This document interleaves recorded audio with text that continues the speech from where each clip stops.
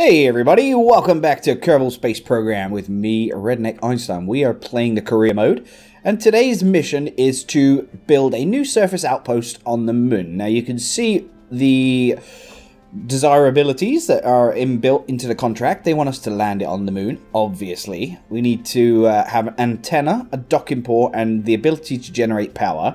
It needs to be able to support five Kerbals, have a viewing cupola, and maintain stability for 10 seconds. Now, as our reward, we're going to get 246,000 Kerbal credits. Now, I've pre-assembled a rocket that I'm going to show you now that will meet this objective. And I like to call it the Mun Skyscraper. So I'm going to call it Mun Skyscraper now, rather than leave it as the Mun Outpost. I left it like that just so I could find it uh, easily. But essentially, the, the, the part that's going to be landing on the Mun is this. So it's going to look like, let me just deploy the legs. It's going to look like that. So you can see it's quite a bit of a beast compared to the size of a Kerbal. Therefore, a fun name is to call it the uh, Mun Skyscraper. Now, or we could call it Trump Tower, I suppose, after Donald Trump. Very politically appropriate right now. So let me just talk you through. So we've got mystery goo. No, we've got uh, monopropellant tanks. They look like mystery goo. Um, we've got loads of solar panels. We can now use the extendable ones. I've got some RCS because it's a bit unwieldy to control. I've got a ladder that goes all the way down from the top. And then we've got a little extendable ladder down here that reaches to the ground.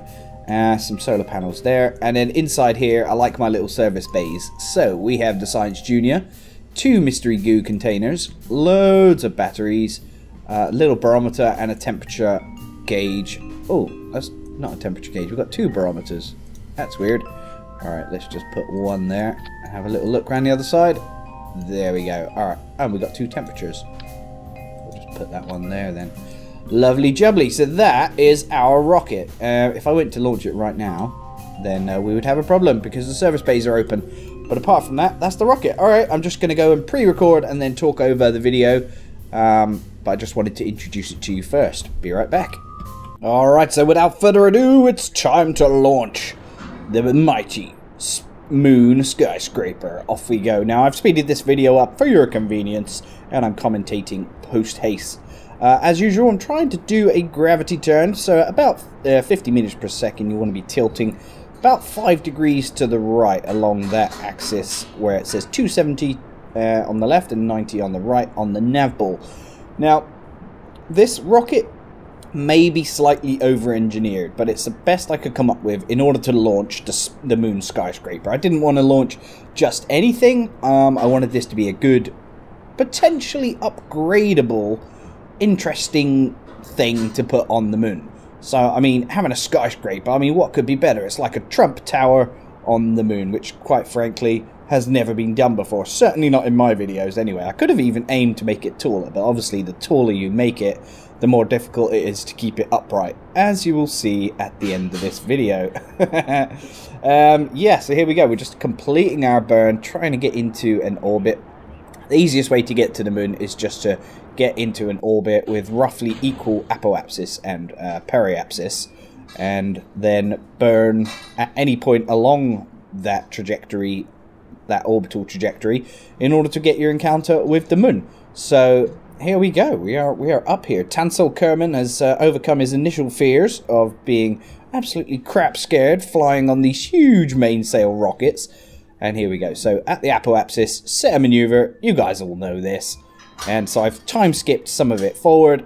Here we go, massive burn because we cut our we cut our uh, acceleration down while we were moving to our apoapsis. Sometimes it's better to do that. Sometimes it's better to keep a continual burn. But recently I've been struggling to do a continual burn, which actually gives me an equal periapsis and apoapsis. So if anyone's got any tips on how to do that, then I'll be that would be greatly appreciated. So here we go. Set our target as the Mun. We need to find out at what point along our trajectory um, around Kerbin we can actually get an encounter with the Mun. So sometimes you have to play around with the camera angle. And there we go, we have an encounter. So you just want to reduce that to as little speed as possible to get a nice encounter with the periapsis that you want. Um, obviously the periapsis in purple there is the periapsis or the closest point uh, when you encounter the Mun. So here we go. We're now doing our acceleration burn.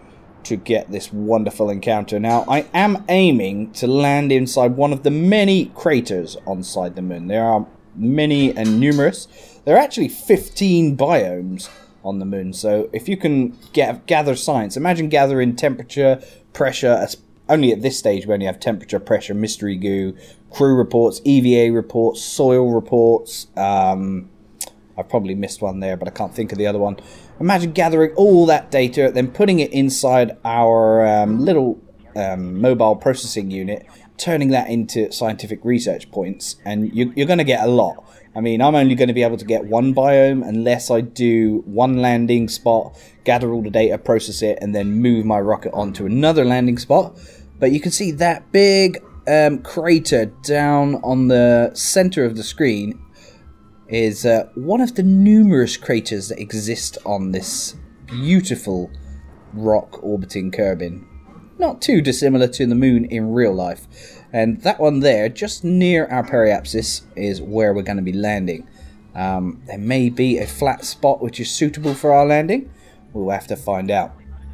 So here we go. I'm just playing around with the maneuver nodes in order to in order to choose sort of a landing spot that I want. So now we have to whiz round and get to the point at which we can start burning retrograde. Remember, retrograde will obviously be burning opposite to the direction you're flying, and it will slow you down enough in order to start plummeting to the surface, hopefully with some some degree of control. Now, the re you might think, why the hell has he got monopropellant tanks and you know RCS control on this? The simple reason is that it's a bit of an unwieldy beast. At this stage, with these huge fuel tanks still attached, it's hard to actually maneuver, so I just added them to speed up my ability to, um, you know, maneuver the, the craft. Um, and we've nearly run out of Delta V on this stage. Once we have jettisoned this part, we'll we'll be able to control our rocket a lot easier. But I'm uh, trying to make the most use out of what the what fuel is on this stage. So we're 15,500 meters above the surface, and we've got a quite nice descending velocity, just creeped over 130 meters per second now. So we want to really try and control how quickly we're descending. Now, obviously, you don't want to keep stopping and starting. You don't want to burn full speed, reduce it to zero, um, cut your engine, and then let it descend and gain all that speed again. I, I don't think that's the best way. I think that's what they call a suicide burn uh, because you're continually accelerating and decelerating um, according to the gravity of the Mun. But um, I like to do kind of a kind of a steady burn in order to. The aim is, I suppose, to reach zero meters per second at the exact point you touch the surface. That's really blooming hard to do. If you concentrate really hard and play a lot more safer than I do, then I guess you could do it. You'd need to do some calculations as well, but I, I don't need to do that anyway. So you have to be also careful on the Mun because there's lots of slopes and mountains. Mountains actually exceed 5,000 meters. I think on the South Pole there's a mountain that exceeds 7,000 meters. So you have to be careful at, at what um, point you're going to be landing at. Just uh, That's where Kerbal Engineer comes in handy for me. It lets me know what altitude our, what our altitude is above the terrain as well as what altitude we're currently at regardless of the terrain. Um, and gravity on the Mun is one sixth of Kerbin, so it's pulling you down what's one sixth the strength that Kerbin pulls you down. Now this is quite a good landing, if I do say so myself. There's a slight slope that we'll be descending on, which you'll see may cause some issues in a few. But as it is, I'm quite happy with that landing. It means we can get Tansel, Ker Tansel Kerman out, get him to do some little soil samples. You can see we've now completed our contract. So that's made about 90,000 or 100,000. I think it was 90,000 Kerbal credits profit. So we do an EVA report while he's flying around. There's nothing better than flying around with a Kerbal on the surface of another planet that isn't Kerbin. Uh, it's quite frankly beautiful. So there's the ladder that I added, so I can use that to climb all the way up to the top to the viewing cupola. Um, let's just take a little soil sample. Then we're going to go and plant a flag over here in the distance a little bit. Just to commemorate the momentous occasion that we land the Mun skyscraper. There it is. I should have called it Kerbal Mun Skyscraper. But uh, we'll correct that whenever we feel the need. There we go, we've landed underneath the rocket. And the rocket actually takes off, and at this stage I'm like, holy crap! Solar panels have blown off, the rocket has tipped over, and technically, the rocket is still usable. So, I mean, it's not really anything to worry about, but I do worry. I don't like it. I can't take off again. I try to, but um, yeah, the rocket's in not exactly an ideal position. Skyscrapers are not meant to be on their side. I'm pretty sure of that. so essentially what I do is I do the whole mission again in order to complete in order to complete it properly so I can actually reuse it. So you'll see that in a second.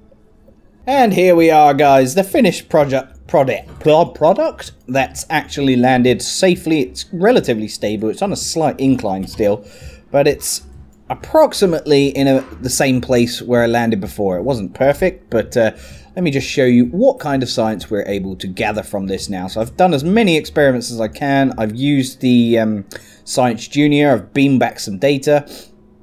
Um, I'm processing some data, and same with the Mystery Goo, crew reports, etc., etc. So on the Mobile Processing Lab, we've now got 408 data out of 750 and it's producing 0.55 science per day.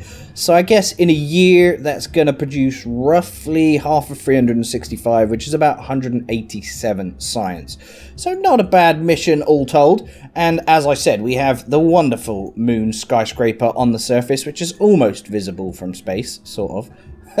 There's the flag we planted. I, I, I sort of moved the rocket in order to try and get it on a flatter plane but uh, wasn't entirely successful. But there we are. I hope you've enjoyed the video, guys, including the failures. please let me know your thoughts, and uh, I'll be happy to answer any comments and queries you've got.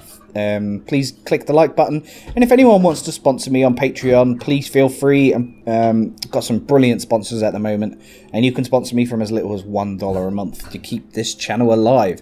Thank you ever so much, guys. Take care. Bye bye, and see you soon.